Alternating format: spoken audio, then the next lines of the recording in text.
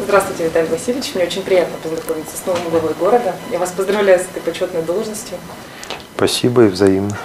С приходом нового хозяина в главном кабинете администрации города мало что изменилось. Также не прекращая звонят телефоны, круглосуточно работает компьютер. И самому Виталию Веркиенко вряд ли удалось поспать минувшей ночью. Обещанный сильный снегопад вновь заставил все городские службы работать в круглосуточном режиме.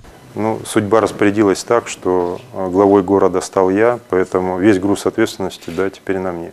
Один из главных вопросов, который, по мнению нашей съемочной группы, сегодня волнует многих горожан – благоустройство городской среды. Обеспечить Владивостоку достойное развитие – одна из важнейших и приоритетных задач, стоящих перед администрацией, подчеркнул Виталий Веркиенко. Есть, скажем, несколько направлений работы в, этом, в этой сфере благоустройства.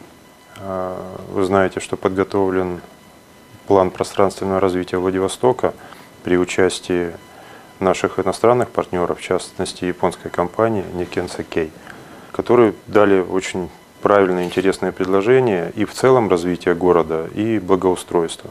Поэтому в рамках развития этой концепции а, уже администрация города а, готовит соответствующие а, документы, проекты по развитию и города в целом, и благоустройства.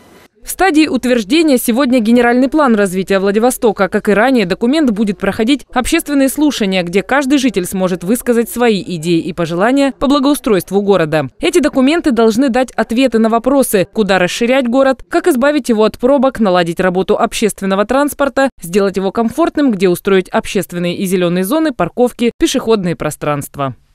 Это и создание э, красивых парковых зон, прогулочных зон, тропы здоровья. То есть эта работа будет продолжена.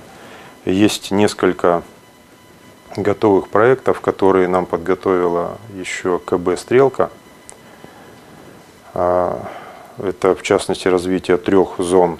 То есть это центра, сквера под нашим мостом а, и еще несколько зон, которые будут в первую очередь благоустроены. Ключевая точка в строительстве, например, тропы здоровья, расстояние от Олимпийца до Кунгасного. Этот участок побережья приведут в порядок и сделают дорожку для любителей кататься на роликах, пеших прогулок и велосипедистов. И еще уже в марте во Владивостоке начнут создавать первые ТОСы. Мы начали программу развития ТОСов, а, ну, наверное, вы об этом уже знаете, а, где мы понимаем, что жителям зачастую виднее, что в первую очередь нужно благоустроить.